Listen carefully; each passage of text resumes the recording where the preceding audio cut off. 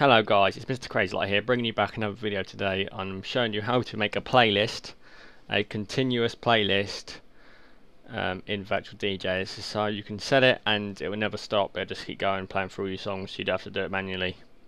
So you, what you want to do is you want to open your Virtual DJ, and if you haven't already, I do have a, we'll have a link in the description to a video on how to get this full version absolutely free. So yeah, I've got the full version with working controllers. So let's get into it. First of all, what we want to do is find the music folder that you want, or all the music you want. So mine's here. So what I'm going to do is I'm going to click on the top one, and I didn't mean to put it up here. So what you want to do is you want to click on it and just select all the ones that you want. I want. I just want to select the whole folder. So I'm going to do click on the top one and shift and click on the bottom one while holding shift. And then you want to find the auto mix which should be over here on side. This should, this should say side list but it might say sampler auto mix karaoke or charts. But I'm just going to go to auto mix down here on this little this little bar. So it's this one with the two arrows. And you want to click on like this. Drag them over.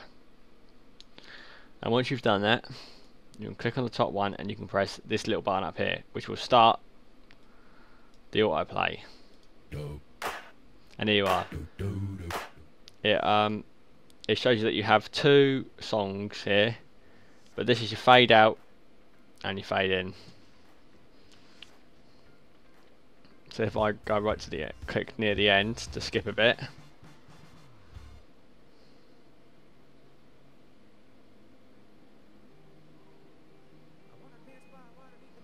It does automatically without me clicking on anything. So if I do it again.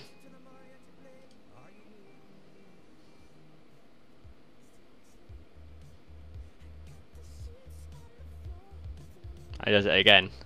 So that's how you do it guys. You just keep, so if you wanted some different songs from a different playlist, I mean from a different album, just go here and drag them over in there, add to it as well.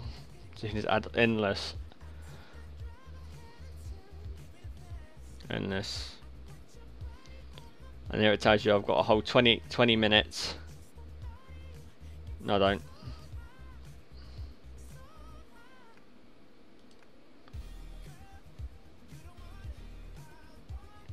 Yeah, I think it. I think that's um. I think that means a whole 21 minutes and 53 seconds. Um, I'm not too sure what that means, but there you are, guys. That's how you do it. Thank you for watching please comment if you have any issues and subscribe if you like the video. Thank you.